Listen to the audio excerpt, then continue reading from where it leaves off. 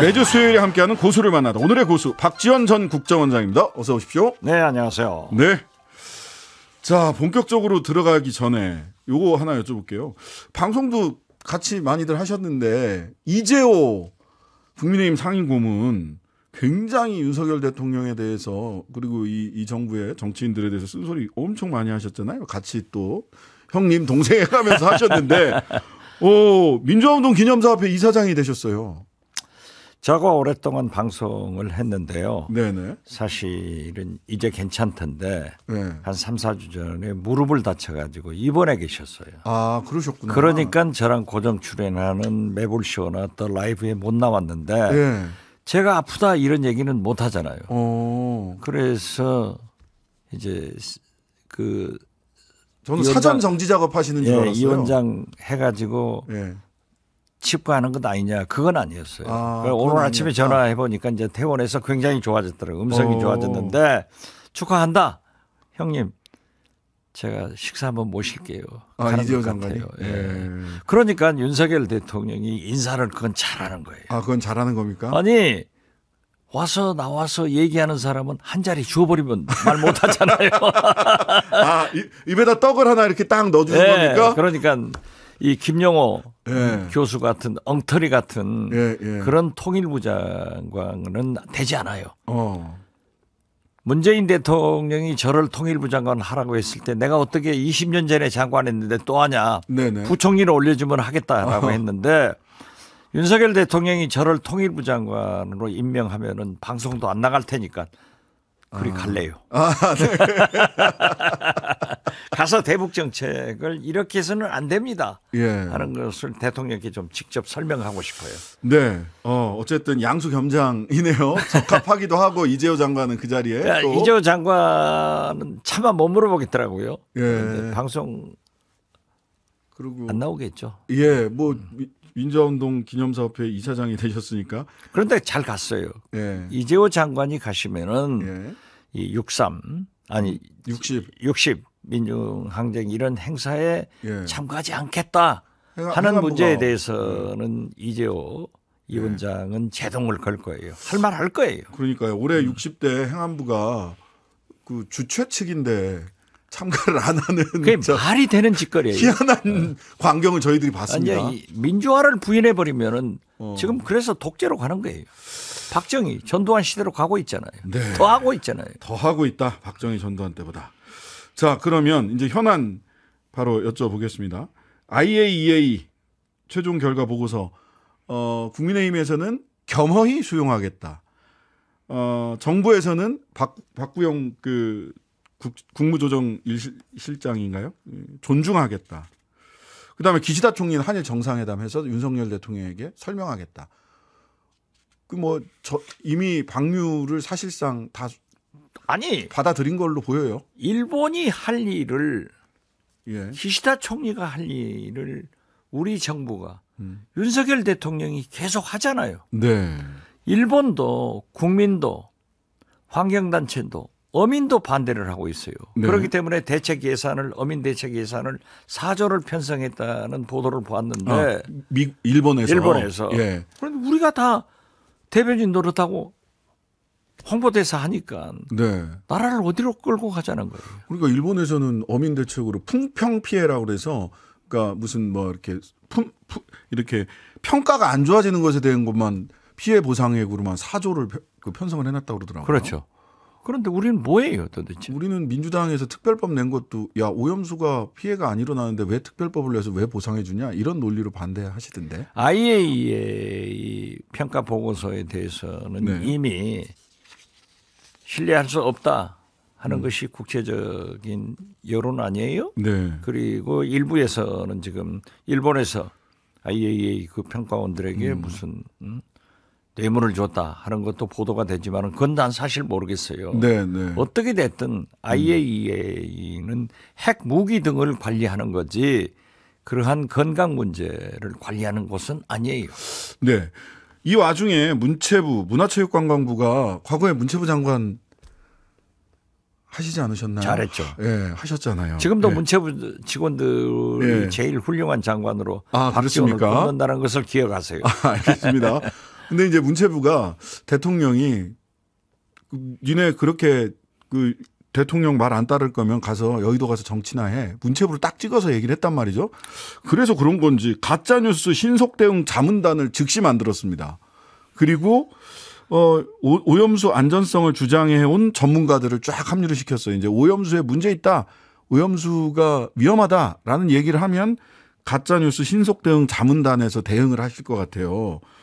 이거 이 오염수 관련된 얘기를 가짜 뉴스라고 보는 것 그리고 이것을 문화체육관광부에서 나서서 뭔가 이게 대응을 하겠다 이렇게 하는 게 적절합니까? 뭐 통일부나 문체부나 뭐 환경부 이런 것을 2년 부서로 기- 해가지고 1급들을 전부 몰살해 버리던데요. 네. 문체부를 그렇게 관리를 하면은 이 나라 예. 문화예술이 어떻게 되겠어요? 예. 이건 말도 안 되는 얘기죠. 어. 아니 그때 DJ 대통령께서 얘기도 하셨고 우리 박지원 이번에는 전 장관님께서도 말씀하셨던 게 지원하되 간섭하지 않는다라는 거지 않았습니까? 그렇죠. 지원하되 간섭하지 않는데 저는 박보균 장관도 예. 기자 출신 아니에요? 예, 그렇죠. 무엇보다도 언론 자유를 굉장히 강조하신 분이니까 네.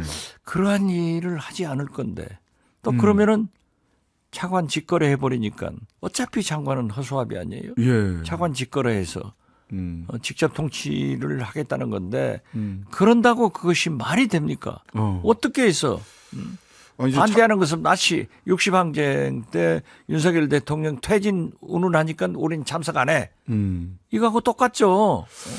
이걸 왜 반대하면은 가짜 뉴스로 단속을 합니까? 문체부가 자기들 막 자기들 가짜를 뉴스를 단속해야지. 거기 예. 카르텔이 되네 진짜. 예. 그 사실 차관 직거래라고 말씀을 하셨는데 뭐 김종인 전 비대위원장도 야, 그 헌정사상 차관 직거래 정치는 처음 본다 이제 이런 아 얘기도 하시고. 그렇죠. 이건 아니 장관 허수아비 만들어 놓고 예. 차관들 대통령실 사람들을 내 보내서 음. 딱 장악해가지고 직거래 하겠다고 하면은 이게 국정이 제대로 되는 거예요? 공직사회가 되는 거예요. 딱 1급은 아무리 임기가 없다고 하지만은 일제히 몰살시켜버리고 예, 환경부 고공단으로 뭐. 2급 상급도 물갈이 하겠다. 음. 이건 공무원법도 위반하는 거고 어. 이렇게 할 수 없는 거예요. 박정희가 5.16 혁명을 해서 네. 전두환이 12.12 예. 이렇게 해서도 이런 짓 안 했어요. 아. 이 공무원들을 이렇게 불안하게 만들고 적으로 돌리고 내년 총선도 그렇고 국정 운영도 그렇고 이거 잘 됩니까? 절대 안 됩니다. 절대 안 공무원들은 물론 잘못하는 공무원도 있기 때문에 아니, 뭐 국민들이 그거야. 불신하는 것도 있어요. 그렇지만 공무원들처럼 애국심을 가지고 헌신적으로 일하는 조직도 없습니다. 네. 그렇기 때문에 미국 보세요. 일본 보세요. 음. 장관이 대통령이 총리가 아무리 바뀌어도 직업 공무원제가 탁 착, 작동을 정착돼. 있기 때문에 예. 문제가 없는 거예요. 자. 이 나라는 도대체 대통령 바뀌면 다 바뀌어요? 저는 이제 차관 직거래 정권과 그 제일 권력자 차관이 직거래하는 거 이건 처음 일이죠. 북한에 있지 않습니까? 부부장의 국가라고 아, 그렇죠. 보통 거기 부부장 부부장이 세죠. 예, 부부장이 제일 예, 세잖아요. 부장. 말고 예. 부부장. 예. 부장이 장관이고 부부장이 차관이거든요. 우리나라로 하면 거기는 부, 부부장 국가예요. 가, 가서 보면. 김여정 부부장. 예, 김 김여정도 부부장이거든요. 예. 그래서 어 북쪽에서 보던 게 우리나라의 남쪽에서 또 재현한다라는 생각을 제가 퇴진 해봤어요. 네. 반대하면은 적으로 돌리는 것도 김정은하고 똑같아요. 아 그렇습니까? 그이 이 오염수 방류에 대해서 비판하는 IAEA 보고서 비판하고 하는 것을 대선 불복, 윤석, 윤석열 탄핵, 정권 퇴진, 내년 총선 전략 이렇게 김기현 국민의힘 대표가 아니 평가를 했어요. 언제 윤석열 대통령 퇴진하라고 민주당에서 얘기한 적 있어요? 야당에서? 음. 저도요. 예, 전국 시구 강연을 지금 한 30회 이상 했습니다마는 네, 거기 청중들이 질문해요. 네, 윤석열 대통령 탄핵 몰아내자. 음, 절대 헌정 중단하는 일은 있어서는 안 된다. 음, 치열하게 경쟁을 했어도 윤석열 대통령이 성공할 수 있도록 돕는 것이 음. 김대중의 행동하는 양심이고 노무현의 깨어있는 시민 정신이다. 그런데 네. 해서는 안 된다라고 했지. 음, 언제 누가 퇴진하라고 했어요? 네, 누가 탄핵한다고 했어요? 네, 네, 네, 누가 선거 불복이에요? 네. 자기들이 해놓고 그러면서 오늘 앞에서도 좀 다뤘는데 요새 대통령이 과거에는 자유에 꽂히셨는데 최근에는 카르텔에 꽂히신 카르텔에 것 같아요. 꽂혔죠. 예, 카르텔에 꽂히셔가지고 그럼 자기들 카르텔부터 허물어 버리라겠어요. 법조 카르텔, 그렇죠. 예, 검찰 그 카르텔. 검찰 카르텔. 그 다음에 최근에 서울 양평 고속도로 종점 변경 의혹 이것도 웃기는 거죠. 음. 어떻게 김건희 여사는 아무 소리 않고 부인한다고 하지만은 누가 알아서 기었든지 그게 있을 수 있는 일이에요. 역대 음, 어떤 대통령 부인이 자기 친정 땅, 자기 땅 지나가는데 그런 짓 한 일이 있어요. 네. 이건 아니에요. 아, 이러면 안. 돼요. 아. 정권 절대 오라가지 않습니다. 내년 예. 총선 끝나면 불을 보듯 레임덕이 오는데 그때 음. 어떻게 당하겠어요? 퇴임 후에 어떻게 당하겠어요? 자 그런데 이제 그러면 야당 쪽 한번 돌아봐야 되는데 오늘 보니까 야당 쪽 돌아볼 필요도 없어요. 잘 돼요 앞으로. 그렇습니까? 아니 일단 후쿠시마 오염수 방류와 관련해서 오늘 뭐 로텐도울에서 1박 2일 농성 한다고 해요. 예. 예. 이번에 후쿠시마 오염수 방류 문제에 대해서는 민주당이 아주 최근에 와서 제일 잘하고 있는 거예요. 아 그래요? 예. 예. 자 어떻게 싸워야 됩니까? 더 싸워야죠. 더 싸워야 된다. 아니 예. 국민이 인정하지 않는 불신하는 음. 그런 IAEA 보고서를 가지고 강요를 한다. 자기들은 수조물을 먹지 말고 음. 차라리 후쿠시마에 가서 핵폐수 그것 좀 마시고 오라고 그러세요. 네. 아니, 정말 또 그렇게 하실 분이 나올지도 모르겠다라는 생각이 드는데 자 민주당 어쨌든 지금 후쿠시마 오염수 방류 반대와 관련된 것은 야당으로서의 역- 제 역할을 하고 있다라는 평가시고 더 싸워야 된다라는 말씀도 주셨고요. 근데 최근에 보면 어 민주당 전 대표님들이 대거 등장을 하셨어요. 이게 뭐전 대표 날리고 이씨는 이낙연, 송영길. 저도 전 대표 두 분은 난리를 치고 아 누구요? 추미애, 씨는 송영길. 예. 만만다고 이게 도대체 무슨 꼴이에요? 어, 하여튼 전 대표 세 분이 동시에 등장을 하신 것 같아요. 추미애, 이낙연, 송영길. 그렇죠. 어. 이 뭐 어떻게 하셔야 됩니까? 이전 대표님들이 현 보통은 현 대표가 이렇게 이 보폭을 넓게 해주려면 좀 이렇게 아니 민주 정당이기 예. 때문에 현 대표에 대해서 지적하고 예, 충고도 하고 예. 또 반대도 하는 것은 있을 수 있습니다. 아이 뭐 당연히 그렇지만은 추미애 예. 전 법무 장관은 임명권자인 대통령이 음. 임명도 하고 해임도 하는 거예요. 네, 그리고 총리는 제청도 하고 네. 그렇기 때문에 그 인사 내용은 저도 아는 게 있어요. 그렇지만 말하지 않습니다. 네. 이건 백해무익한 얘기를 왜 지금 꺼내는지 저는 추미애 장관께서 좀 자제해 주셨으면 좋겠다. 음. 이런 말씀을 드리고 네, 송영길 전 대표도 지금 보십시오. 네, 최근에 보면은 100만 원 골프채 선물 받은 것도 기소를 하잖아요. 네, 네. 저는 이걸 보고 아, 돈 봉투 300만 원 받은 것 한동훈 장관이 20명이라고 밝힌 것 네. 이걸 다른 구속영장 청구할 것 같아요. 어, 예. 수명 전체에 대해서 그렇죠. 예. 그래서 나는 이런 전초전 아닌가 하라고 어떻게 됐든 그러한 문제로 무리가 있다고 하면은 좀 자숙해 주는 것이 좋다. 음. 저는 그렇게 말씀드리고 이낙연 전, 전 대표는 지금 현재 귀국해서 좋은 행동을 하지만은 김대중, 5.18 선친묘, 예. 노무현 대통령 오늘 가고 지금 아마 이 순간 문재인 전 대통령, 문재인 양산. 대통령 예. 만나고 계시는지 모르지만은 제가 볼 때는 김대중 대통령 묘소나 노무현 대통령 묘소를 가서 아마 그랬을 것 같아요. 두 대통령이. 네. 여기 뭐하러 왔냐? 빨리 이재명 만나서 손잡고 국민 음. 속으로 들어가서 투쟁해라. 그러고 나중에 온나.